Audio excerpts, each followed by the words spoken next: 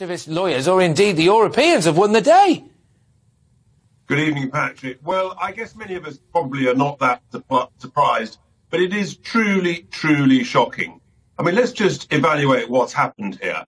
Uh, the uh, we had the High Court approve the deportation flight. We had the Court of Appeal, and then the Supreme Court of our great sovereign nation all say the government's plan was legal, lawful, and should go ahead.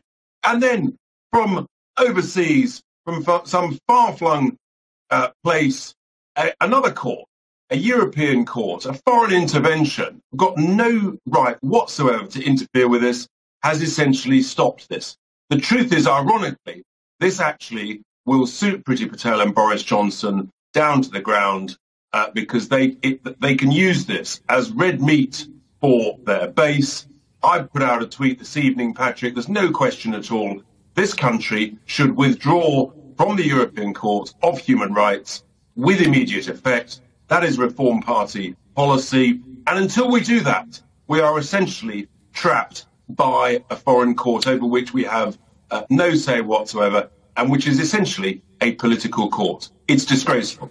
Right, I mean, oh, oh, yeah, obviously as well, it's, it's, it's Boris Johnson blame, blaming the EU for, for this. And, um, I, I, mean, I suppose this does, as you alluded to there, essentially maybe lead to a reform party policy becoming mainstream, as it were, because actually now I suppose people are saying, well, hang on a minute, if we want these flights to Rwanda to take off, then we have to get out of some of these European laws and rules and regs, don't we?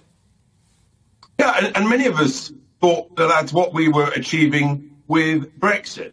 But unfortunately, what this has proven is that they just can't help themselves, can they? Okay. They just want to continue to interfere with an independent, proud, sovereign nation, and we shouldn't put up with it anymore whatsoever. I would expect uh, Priti Patel or the Prime Minister to make a very, very clear, firm, robust statement. And if they don't, then what does it say about their real intentions, their real commitment to stopping these horrific crossings across the channel, which is what we all want, of course?